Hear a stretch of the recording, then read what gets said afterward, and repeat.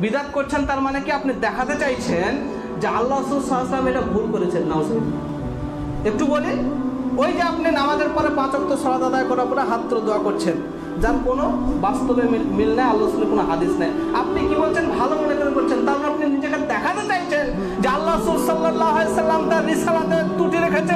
আল্লাহ রসুল সাল্লাহ সাল্লাম তার রিসালাতে সেটা বলা উচিত ছিল। কোনো সমস্যা নাই। তিনি বলে দেননি, তাই এটা খামতে আছেন তেনার বলে দেওয়া উচিত ছিল এটা ভুল করেছেন।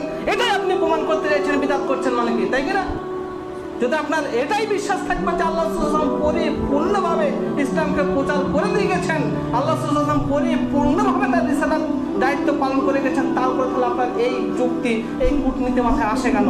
আসে মানে আপনি বলতে চাইছেন যে আল্লাহ সুসাম ইসলাম পৌঁছাননি নাউজুবিল্লাহ বিদাতকারীরা কি বলতে চাইছে? যারা বিদাত করে তারা বলতে চাইছে যে এটা আল্লাহ বলা উচিত ছিল, তিনি বলে দেননি, ভুল করেছেন।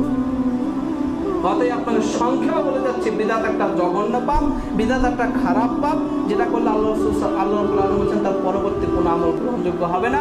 বিদাত ওই জিনিসকে বলা হয়, যার আদেশও নাই, নিষেধও নাই, এর মধ্যে কিছু অস্পষ্ট বিষয় আছে, যেগুলো ভালো মনে করে ইবাদত মনে করে, নেকির আশায় করলে সেটাই হবে বিদাত। এরপর আপনাকে আরও বলি, যারা বিদাত করে তারা মনে করে, তাদের দাবি এটা যে আল্লাহ সুসালাম এটা বলে যাওয়া উচিত ছিল। আল্লাহ সুসালাম এটা বলে জানলে তিনি ভুল করেছেন অতএব আমি তার থেকে বেশি জানি। আমি এটা জেনেছি, এটা করাতে কোনো সমস্যা নাই, তাই আমরা করছি। নমস্কার